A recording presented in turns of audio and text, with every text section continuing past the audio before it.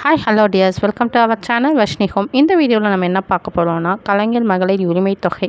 Already வந்து நான் மூணு வீடியோ அப்லோட் பண்ணியிருக்கேன். இந்த வீடியோவில் நம்ம என்ன பார்க்க பண்ணுறோன்னா நீங்கள் வந்து உங்களுக்கு அப்ளிகேஷன் நிராகரிக்கப்பட்டாலும் சரி உங்கள் தரவு வந்து மேலிடத்தில் கிடைக்காம அவங்களுக்கு ரிஜெக்ட் பண்ணியிருந்தாலும் சரி இப்போ நீங்கள் புதுசாக அப்ளை பண்ணலாம். அது மட்டும் இல்லாமல் தகுதி வாய்ந்த மகளிர் ஒருத்தவங்க கூட விடுபடக்கூடாதுன்ட்டு இப்போ நிதியமைச்சர் அவர்கள் வந்து என்ன சொல்லியிருக்காங்கன்னா இது வரைக்கும் நீங்கள் அப்ளை பண்ணலனாலும் பரவாயில்ல இப்போ புதுசாக அப்ளை பண்ணலாம்.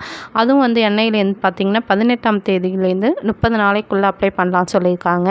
நீங்கள் ஸ்டேட்டஸ் செக் பண்ணி பார்த்துட்டு உங்களுக்கு காரணம் வந்து ரீசனபிளாக இருந்துச்சுன்னா நீங்கள் அப்ளை பண்ண வேணாம்.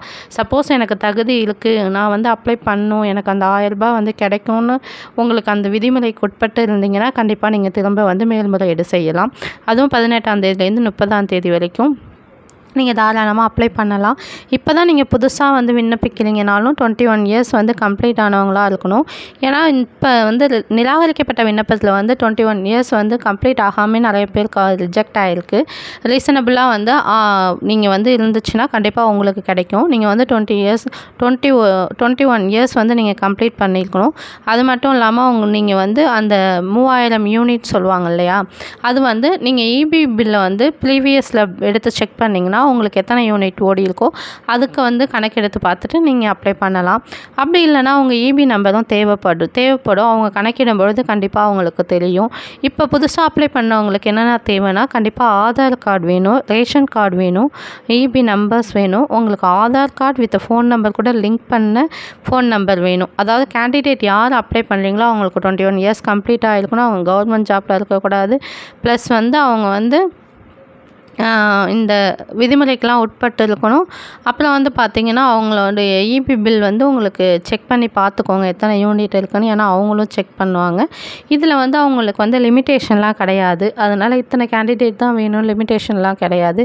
எல்லோரும் அப்ளை பண்ணால் அவங்களுக்கு எல்லாருக்குமே உங்களுக்கு வந்து பணம் கொடுக்குறாங்கன்னு சொல்லி சொல்லியிருக்காங்க.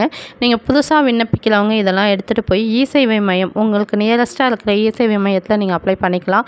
இப்போ போனீங்கன்னா ஸ்டேட்டஸ் செக் பண்ணுறவங்க வந்து ரொம்பவே கூட்டமாக இருக்கும். அதனால் இன்னும் கொஞ்சம் நாள் ஒரு ரெண்டு மூணு நாள் வெயிட் பண்ணி போனீங்கன்னா நீங்கள் ஈஸியாக வந்து அப்ளை பண்ணிக்கலாம். அந்த ஸ்டேட்டஸ் செக் பண்ணுறவங்களுக்கும் வந்து பார்த்தீங்கன்னா இந்த தரவுகள் சரிவர கிடைக்கப்படவில்லைன்னா உங்களுக்கு ஆதார் கார்டு ப்ராப்ளமாக இருக்கலாம். ப்ளஸ் வந்து வங்கி கணக்கு ஆதார் கார்டும் லிங்க் பண்ணாமல் இருந்திருக்கலாம். அந்த ப்ராப்ளத்தெல்லாம் நீங்கள் சால்வ் பண்ணிவிட்டு அதுக்கப்புறம் மேல்முறையீடு செஞ்சிங்கன்னா கண்டிப்பாக இந்த வாட்டி உங்களுக்கு அமௌண்ட் கிடச்சிடும் அது மட்டும் இல்லாமல் உங்கள் ரேஷன் கார்டும் உங்கள் ஆதார் கார்டும் லிங்க் ஆகிருக்கான்னு ஒரு டைம் செக் பண்ணிக்கோங்க. ஈஸியாக வந்து நீங்கள் அதாவது தாலுக்கா ஆஃபீஸ் போய் ஸ்டேட்டஸ் செக் பண்ணணுன்னு அவசியம் இல்லை. நான் டிஸ்கிரிப்ஷன் பாக்ஸில் ஒரு லிங்க் தரேன். அந்த லிங்க்கை கிளிக் பண்ணிங்கன்னா அதில் ரேஷன் கார்டு நம்பர் மட்டும் கொடுத்தீங்கன்னா இன்னும் யாராவது ஸ்டேட்டஸ் செக் பண்ணாமல் இருந்தீங்கன்னா அந்த லிங்க்கில் போய் உங்கள் ரேஷன் கார்டு நம்பரை மட்டும் நீங்கள் கொடுத்தீங்கன்னா போதும். நான் இந்த மாதிரி ஒரு ஆட் பண்ணுறேன் அந்த மாதிரி ஒரு பிக்சர் வரும்.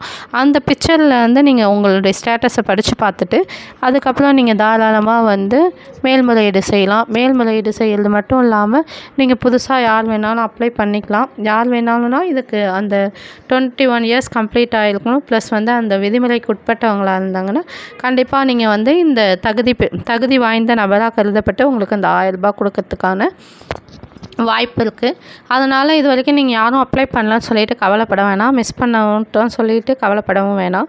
நீங்கள் பதினெட்டாம் தேதி முதல் முப்பதாம் முப்பது நாட்களுக்குள் நீங்கள் அதாவது மேல்முறையீடு செய்ய கால அவகாசம் விதிச்சிருக்காங்க இல்லையா? அந்த டைமில் நீங்களும் அப்ளை பண்ணுங்கள் கண்டிப்பாக இந்த அமௌண்ட்டு உங்களுக்கு கிடைக்கும். ஓகே டேஸ் இந்த வீடியோ உங்களுக்கு பிடிச்சிருந்தா வஷ்ணி ஹோம்க்கு மறக்காமல் சப்ஸ்கிரைப் பண்ணிக்கோங்க. சப்ஸ்கிரைப் பண்ணுறது மட்டும் இல்லாமல் பக்கத்தில் இருக்க பெல் ஐக்கானை கிளிக் பண்ணி ஆல் கொடுத்துக்கோங்க. அப்போ தான் நான் போடுற வீடியோ நோட்டிஃபிகேஷனாக வரும். இல்லை ஏதாவது உங்களுக்கு டவுட் வந்துச்சுன்னா கண்டிப்பாக கமெண்ட் செக்ஷனில் கமெண்ட் பண்ணுங்கள் நான் ரிப்ளை பண்ணுறேன் அது மட்டும் இல்லாமல் எனக்கு ஏதாவது தகவல் தெரிஞ்சாலும் உங்களுக்கு உடனுக்குடன் அப்டேட் பண்ணுறேன் அதுக்கு மறக்காமல் நீங்கள் வஷ்ணி குமார் சப்ஸ்கிரைப் பண்ணி வச்சுக்கோங்க. Thank you tears